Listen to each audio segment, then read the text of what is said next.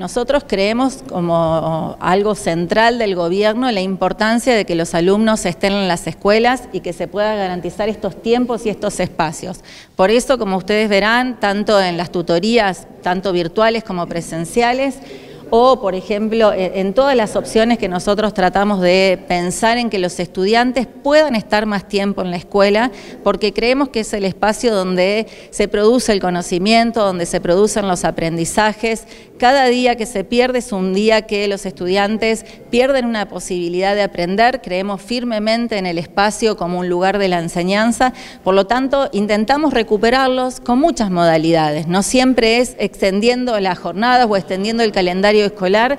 En este caso estamos tratando de profundizar con más tiempo y de calidad. ¿Por qué de calidad? Porque lo hacemos priorizando los espacios que necesitan los estudiantes y priorizando a los estudiantes que necesitan ese acompañamiento. en algún momento se rumoreó en estos últimos días el posible paso de universidades a la esfera de la provincia o de las provincias. ¿Tienen en cuenta eso?